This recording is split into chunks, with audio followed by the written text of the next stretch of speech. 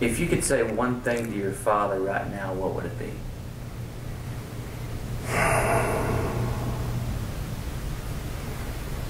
Why couldn't you uh, tell me you love me?